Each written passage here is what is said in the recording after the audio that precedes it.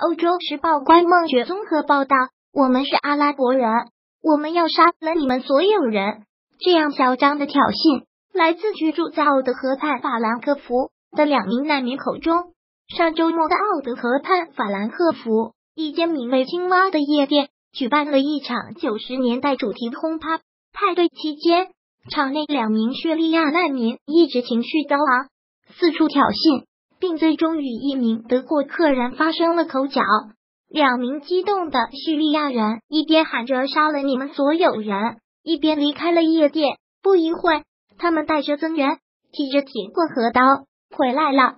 当时共有十多人聚集在青蛙的门外，手持武器，开始威胁夜店门口的客人们。据检方透露，他们还一再叫喊“真主至大”。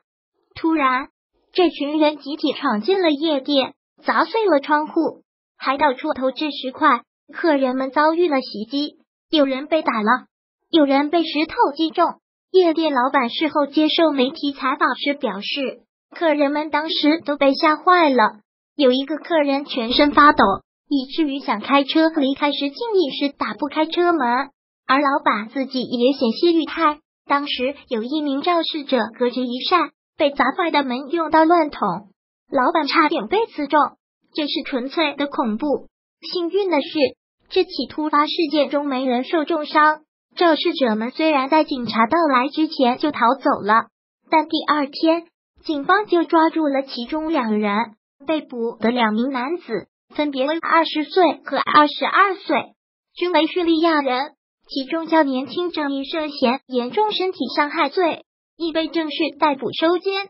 事发后，该市市长对此次袭击表达了最严厉的谴责。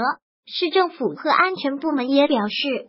将全力跟踪本市暴力冲突事件，并严肃惩罚。